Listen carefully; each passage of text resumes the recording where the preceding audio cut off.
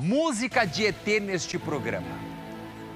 Atenção, você que acompanha o Bora MS.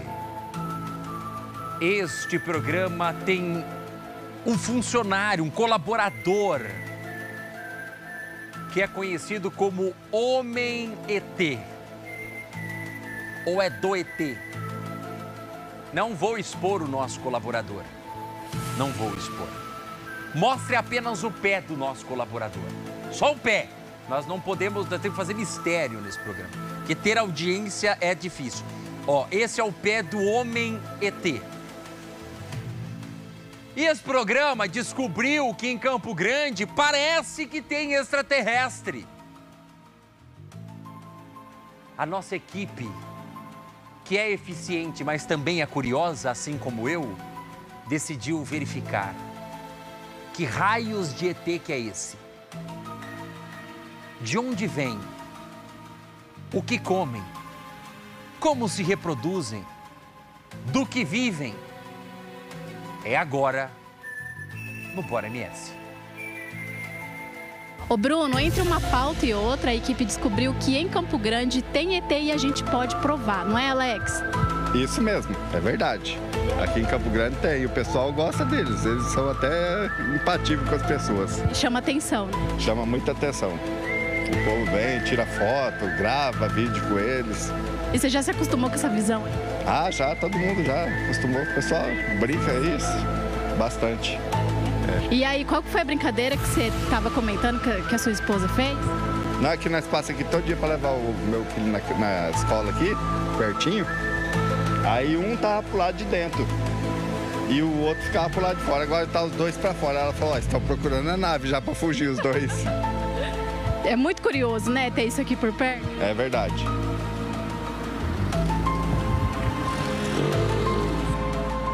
Não. Essa, ima essa imagem, é- essa imagem é sensacional. Essa, ima essa imagem, olha isso, gente. O casal de ETs apaixonados neste programa. Você que gosta de um ET, de repente acha que casou com um ET, porque o seu marido, de repente, tem uns pensamentos meio alienígena.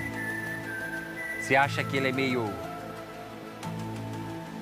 né?